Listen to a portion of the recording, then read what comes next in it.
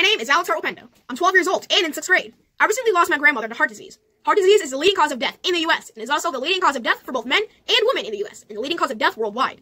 It accounted for 16.2 million deaths just last year. My invention called Heart Upendo, a play on words for my last name, Upendo means love in Swahili, and the app name means heart love. It's an early detection app and phone device that helps prevent heart attacks and stroke. My app is equipped with Bluetooth algorithms and a phone case that has a built-in ECG. One of the top three items that people carry 80% of the day is their phone. The Heart Upendo case has a built-in ECG. You simply place your fingers on the side of the cell phone case and in 30 seconds it will record an electrocardiogram. The heart is a muscle triggered by electrical signal. The signal can be recorded and is called an electrocardiogram, or ECG. Before we dig deeper into the fundamentals of ECG, let's go through the basics of heart physiology and function. The heart has four chambers chambers. The upper two chambers, left and right atria, are entry points into the heart, while the lower two chambers, left and right ventricles, are contraction chambers that will send blood out to the body. The circulation is split in the loop with the lungs, pulmonary, and another loop through the body, systemic. And the cardiac cycle refers to a complete heartbeat from its generation to the beginning of the next beat, comprising several stages of filling and emptying the chambers. The frequency of the cardiac cycle is reflected as heart rates, beats per minute or BPM.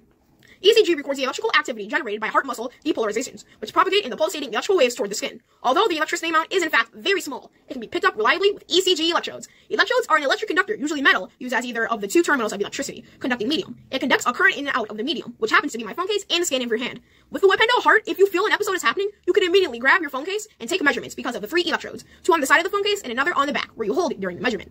Those measurements are then sent via Bluetooth to our app. Inside the app's algorithms, it will pull data and chart it next to safe ranges of stats. If your ECG is out of that range, it will advise you to seek medical attention. It will also give you one minute to respond after the reading by prompting you to press any button on your dial pad. By pressing the button, it alerts the app that you are coherent and don't need emergency help. If by any chance we're having an episode and don't respond to our app's alert, it will pull GPS information through my app and will send a call to local authorities as well as contact your emergency contact.